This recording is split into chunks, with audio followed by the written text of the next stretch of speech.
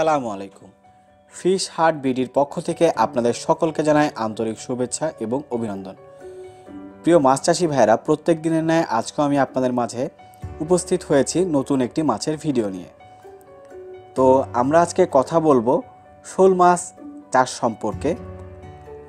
কীভাবে আপনারা এই মাছটি চাষ করবেন সেই সকল নিয়ে বিস্তারিতভাবে।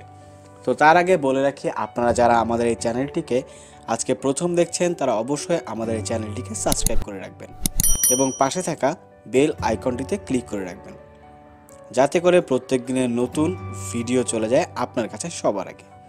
তো আর দেরি না করে চলে যায় আমরা আমাদের মূল আলোচনায়। বর্তমানে শোল মাছটি বিলুপ্তপ্রায় চাষের মাধ্যমে উৎপাদিত শোল মাছ বাজারে পাওয়া যায়। মাছের বাজার মূল্য বেশি হয় এটিকে বাণিজ্যিকভাবে উৎপাদন করা যায়। তাই বাণিজ্যিকভাবে উৎপাদন করতে গেলে আপনাকে বিশেষ কিছু পদ্ধতি অবলম্বন করতে হবে। প্রথমে কথা বলব, এই মাছটি চাষ করতে গেলে আপনার পুকুর প্রস্তুতি সম্পর্কে। এই মাছ যে কোনো পুকুরেই চাষ করা সম্ভব। উপযুক্ত পরিবেশ তৈরি করে দেবার জন্য যে পুকুরে শোল মাছ চাষ করবেন সেই পুকুরে কচুরিপানা ও কলমিলতা থাকতে হবে। শোল মাছের পুকুরে কচুরিপানা দিলে ভালো। খেয়াল রাখতে হবে কচুরিপানা যেন পুকুরে ভরে না যায়। এজন্য পুকুরের তিন ভাগের এক ভাগ কচুরিপানা থাকবে। শোল মাছের পুকুরে চারপাশে কমপক্ষে পাঁচ ফুট উচ্চতা করে জাল দিয়ে বেড়া দিতে হবে, কারণ বর্ষার সময় শোল মাছ লাভ দিয়ে পুকুর থেকে বেরিয়ে যেতে পারে।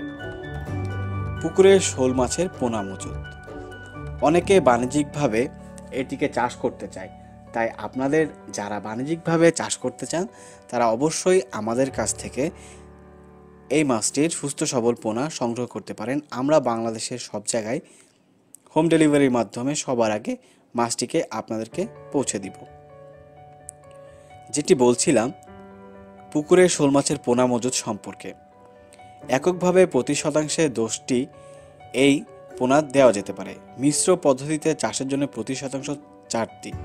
একটি প্রাপ্তবয়স্ক শোল মাছ দুই থেকে পাঁচ এবং তিন ফিট পর্যন্ত লম্বা হয়ে থাকে।